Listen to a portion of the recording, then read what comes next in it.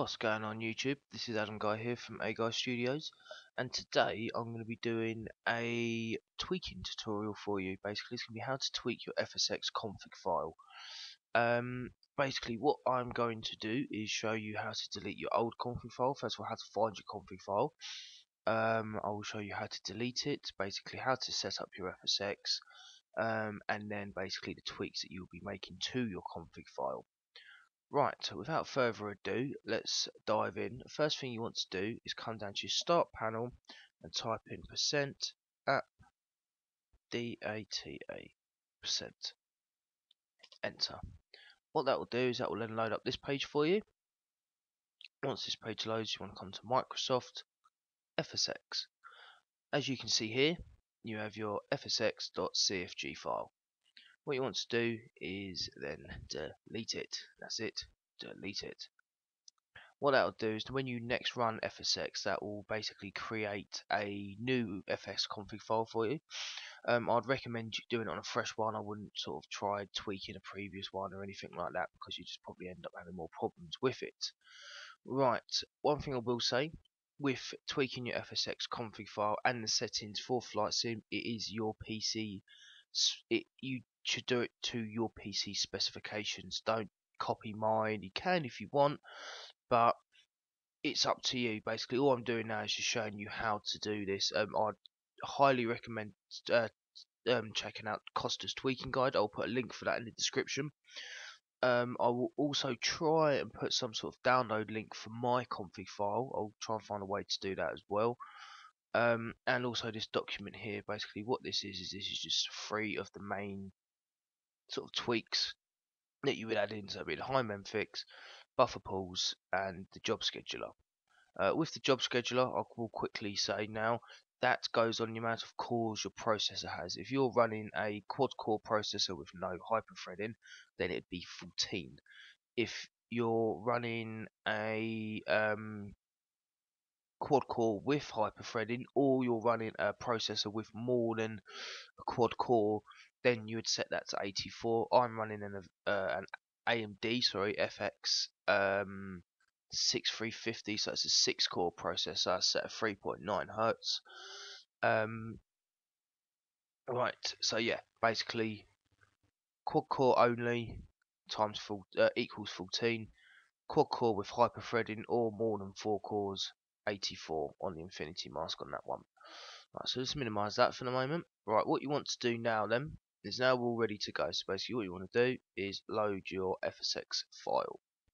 One thing I will say, obviously when you redo a new config file, you will have to install all the software again. So you'll have to do all your EZDok, um, any sort of added on aircraft. Not install it, sorry, but you'll have to give it permission to run as you're about to um, about to see now, really.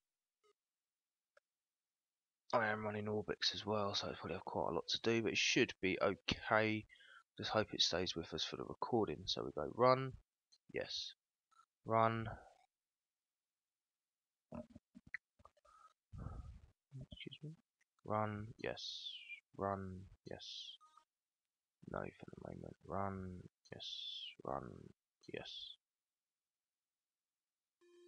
Right, now we have FSX loaded. Unfortunately, it will load the stupid music. So what we're going to do for this purpose was to turn that off quickly. Right, this is obviously, as you know, your main config page for FSX within FSX. What you set now, leave it. Basically, set these settings how you want your FSX to be permanently. Don't set them, do your config file, and then set them again because you'll end up messing up your config file and then it won't work properly or the whole idea of the tweaking would have just gone straight out the window. Right, so first things first, we'll just check our sound. Everything's okay there, make sure the music's turned off. Um, controls, make sure the enable controllers are is ticked so you can use your joystick, yokes, etc. Realism, disable flying tips, we do not want that. Um, ignite, it's up to you here whether you want to put whether it detects crashes, etc., etc. Um, auto rudder, rudder on, sorry, unlimited fuel off. Enable auto mixtures, we'll leave that on for propeller planes. Disable indicate or display indicated airspeed. We want that. We don't want true speed.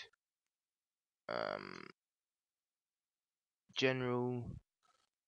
We want to untick pause on task switch. We won't worry about that. Untick the auto ATC open because it can be annoying. Um, as I found out in one of my videos, I was taking off. Um, I'd actually got on my channel.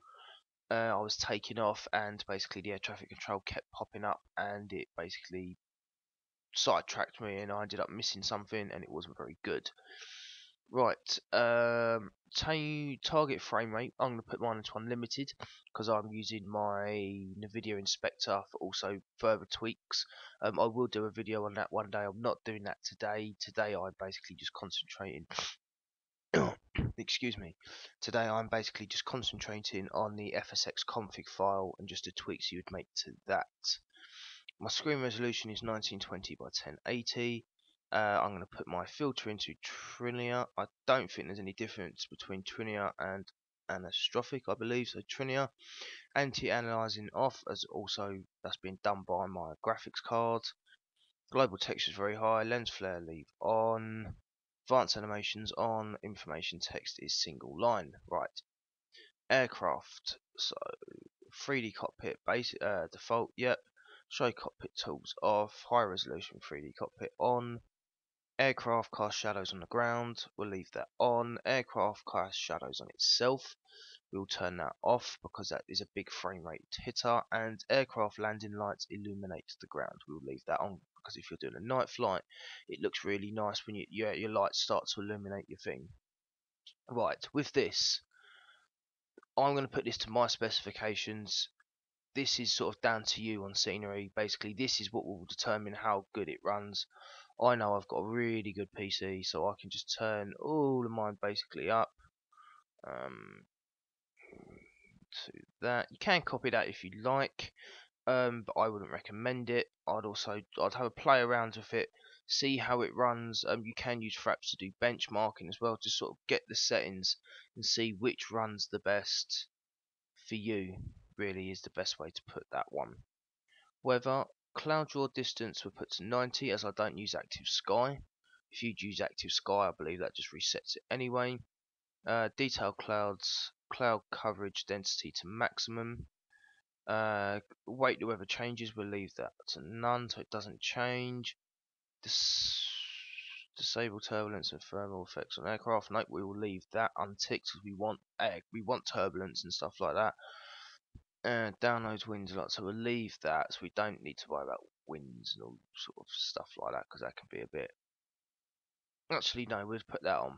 We'll put it on. Right, so that is no, it's not done. I forgot to do. I always do that. Traffic, right? We're going to turn air traffic density down, general aviation off, because obviously I use London Gatwick and Heathrow. They have their own predetermined aircraft. We'll leave that on medium. Road cars we will turn up to 40. Ferries and ships will leave the same. And disable aircraft labels. I do that because I don't think it's realistic personally. So now hit OK. Right, that is that. Everything on FSX is now done. So what you can do is go ahead, close your FSX down. Like so. Right, so now your FSX is closed down. What you now want to do is go back into your config file. So percent app data percent hit enter. Go to Microsoft FSX FSX config file. Here we go. So as you can see now, it's created a brand new config file with all of our settings loaded that we had already done inside of FSX. So now what we can do is just insert the tweaks that I've got here. So the first one, we have the buffer pools. This can go anywhere, so we'll just copy. I will, like I said, I will try and put this document in, um, or sorry, as a download sort of form, so you can just do what I'm doing here and just copy these over. Same with job scheduler. I've already set mine. Only thing I will say is if you if I do do this and you do do manage to be able to download it and copy them over as I'm doing now. Just remember, like I said, on the Affinity Mask, that you need to know what processor or what cores your processor has because if you're using a quad core and you set it to 84 I don't think it would do anything or it might do something wrong I'm not sure but just double check on that one. So now we've got that setting and that setting. Another thing we need to do now is to add the high memfix. This is a very important one.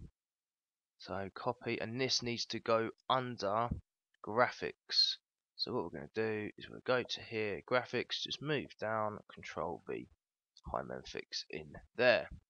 Right, so now we have the job scheduler with the affinity mask equals 84, buffer pools with pool size equals 0, and the high fix. They're all in, so now we can close this down. I will actually leave this open for you guys to see um, maybe I can make that a bit bigger for you. Just so it's easier. Oh, there we go. Just so you guys can see that better. Right. Texture max load, we want to set that to 4096. Basically, all that does is it just allows the game to load more graphics. 4096. That's under texture max load here. Um, the, the, the, the next one we want to do is we need to come down to displays which is here. Basically any word inside the brackets is a section or a column or a chapter or whatever you want to put it. I do sometimes like to separate them individually but for this video I won't be doing that because it does take quite long. We want to set the wide aspect to true down here. So wide aspect view equals true. Right upper frame rate limiter. If you're not using the NVIDIA Inspector and you are just doing this throughout the through in the game make sure you lock that 30 uh, if you're using the NVIDIA Inspector like myself then you don't really need to worry so much about that. It's not a big thing. Right once you've done that you can then come down. This is an optional one this one. Um, actually I'm going to leave it off. We'll leave it off. You can change the load radius which bright. It makes distances or stuff in the distance look a bit sharper and stuff like that. But the only problem is it can cause. Um, oh, excuse me. excuse me on that one.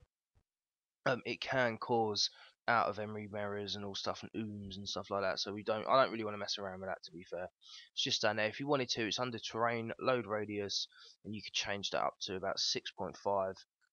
Um, but I tend to leave that alone, and my sim.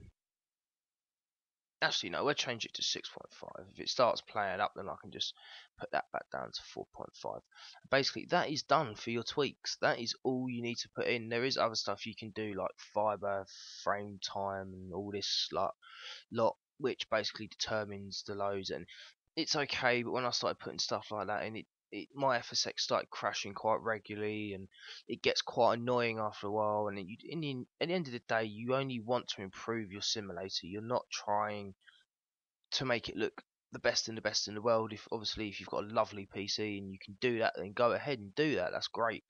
But for someone that's just looking just to have a good flight with good frames, this is a very good sort of recommended tweaking guide for you. I would say. Right, once you've done all your tweaks, you want to go ahead and click File, Save, close that down. We can close, we'll leave that open whilst I'm talking, just for a moment, just so you guys can see it. now what you want, so I'm going to leave that there, so if you want to copy it, write it down, whatever you want to do is up to you.